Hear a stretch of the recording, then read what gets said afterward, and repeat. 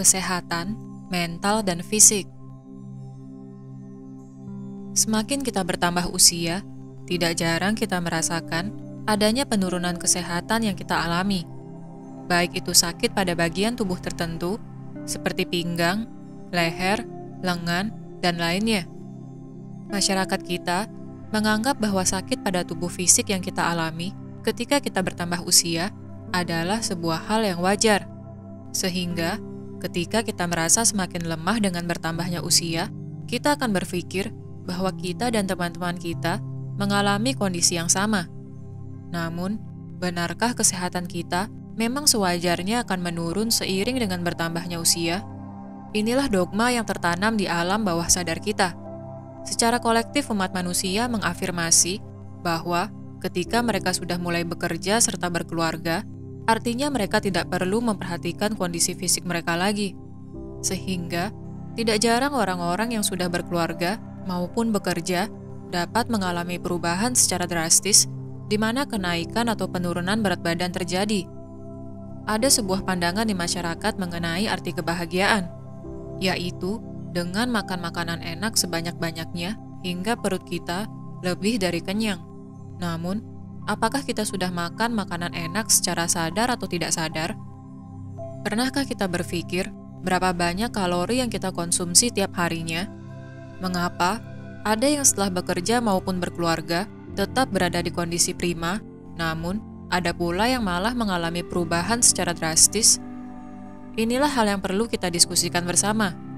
Kita dapat mengamati diri sendiri terlebih dahulu.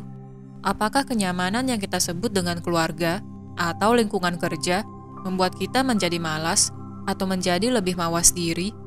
Ketika ada keluarga tercinta yang memasak untuk kita, entah itu orang tua atau pasangan, apakah kita sudah makan masakan mereka secara sadar sesuai dengan kecukupan kalori kita, atau kita makan dengan rakus Kerakusan berasal dari ketidaksadaran, di mana penyakit ini berasal dari mental atau intelek yang tidak mengalami evolusi.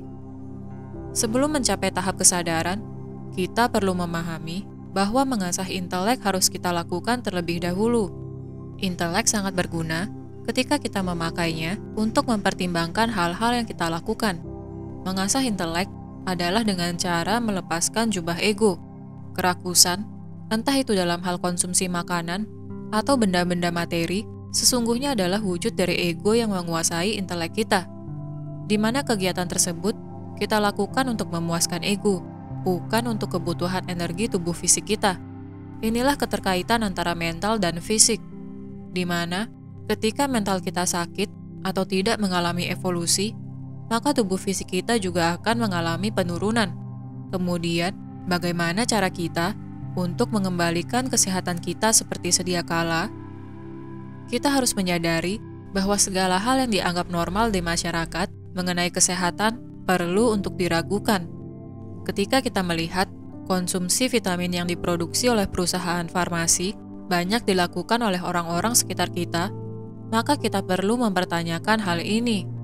Apakah nenek moyang kita yang dahulu pernah mengkonsumsi vitamin untuk tetap bertahan hidup, atau mereka cukup makan makanan yang diberikan oleh alam. Bagaimanakah tubuh fisik nenek moyang kita yang terdahulu? Apakah mereka berumur panjang atau mulai sakit-sakitan seperti manusia kebanyakan saat ini? Selama ini, kita telah dicuci otak oleh berbagai iklan dari produk-produk kesehatan, di mana demi keuntungan ekonomi, mereka menyediakan kapsul ajaib yang bisa membuat kita tetap sehat. Namun, benarkah kapsul-kapsul tersebut menyembuhkan kita atau hal tersebut hanyalah efek placebo? Ketika kita mulai meragukan konsep kesehatan di masyarakat, kita sebenarnya menjadi awas akan apa yang sesungguhnya kita inginkan dan apa yang kaum kapitalis inginkan dari kita.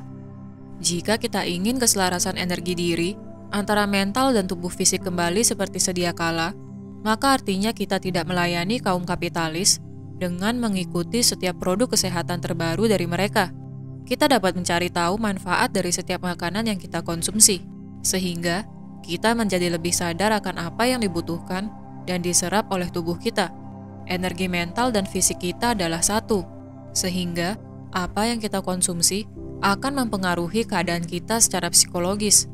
Perhatikanlah kembali apa yang kita makan, sehingga penyembuhan diri terjadi tidak hanya di lapisan energi tubuh fisik, namun juga pada jiwa, pikiran, dan emosi kita.